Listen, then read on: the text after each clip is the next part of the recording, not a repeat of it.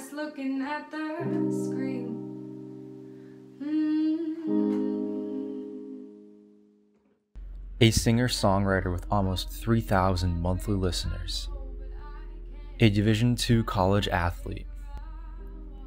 And a body positivity and mental health advocate, Madison Leslie is a student at Franklin Pierce University who can really do it all. I became best friends with um, this girl in kindergarten, and her mom was a Division One lacrosse player, and so she taught us both how to play. And I fell in love with the sport then, and just kind of grew up playing it with my best friends, and then decided to take it seriously in high school, and then um, became part of a club program, Maniacs, and I got recruited to come play here. I was in an orientation group with John freshman year, and I didn't I've always loved to sing and I've been a singer at home, but I didn't really know a place to sing here. So when coming here, we had to do those like little icebreakers where you say like fun fact about yourself. And one of his fun facts was that he plays like eight instruments or something. And so immediately I wanted to become his friend as a singer, obviously. And so I texted him one night and I was like, hey, like I don't really know where to uh, sing around here if you want to jam sometime. And then just kind of from there, we started playing together and then just doing some random covers. And then we started writing together our second semester freshman year. And then it just kind of went from there. I love being able to like play music with uh, one of my best friends, which is amazing.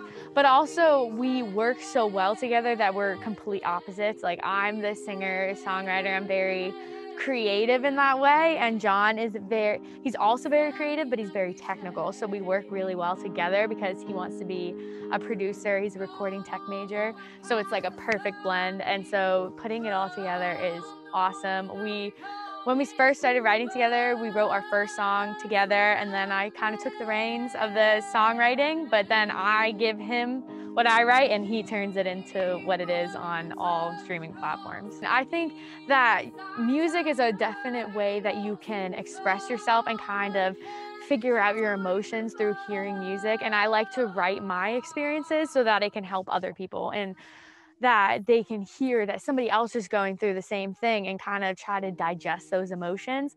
And I'm also very vocal about it on my social media because it's so nice to see somebody else that is going through the same thing. And it just, I created a hashtag, hashtag time to shake your beauty to try to create a platform for people to share those experiences, to share something that they might be insecure with and how they became confident in it in their self love journey. And also, I post about mine so that other people can relate and just, I follow a lot of influencers that talk about their experience and seeing that they go through something, I find that I'm not as alone. I'll see something that one of, like Victoria Garrick, she is the um, founder of Hidden Opponent.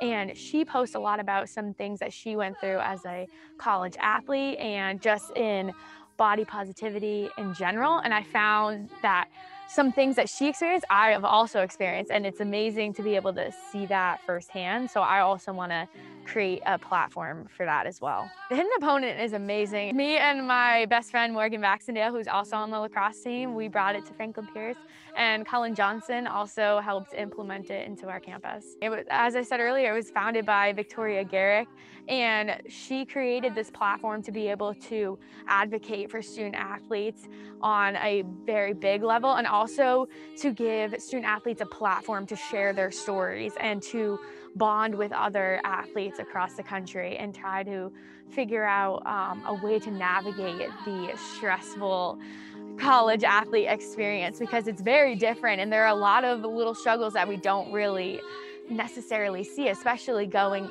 through the recruiting process. You don't see that side of things. And so Victoria started with a TED Talk and talked about how she struggled with her mental health and that it shouldn't be part of a college experience because we when you break a leg or you hurt yourself like you have instant help right at your fingertips. But if you are struggling mentally, we're constantly taught that you have to be mentally tough to be a competitive collegiate athlete. And so going through the hidden opponent and trying to bring it here, I think is an amazing process because we are able to help student athletes have that platform to share about it and also to find new resources to be able to help them. Going to get to that big spot, you have to reinforce this positive self-talk. You are the one that's going to get you there.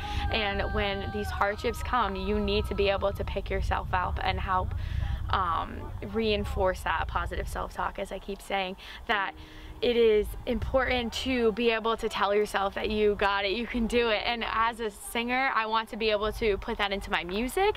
And I also want to be able to share that as part of my platform and that you when it comes down to it, on your gravestone, it's gonna say your name and it's not gonna say, oh, she was so skinny and had a six pack. Or, and when people talk about you, they're not gonna say, oh my God, she's such a good friend, she's so skinny. Like, no one's ever going to say that. People are going to talk about your person. You bring something so special to this world. And that is something that I want to be a, an image for, is that I wanna be able to help others find that self-love.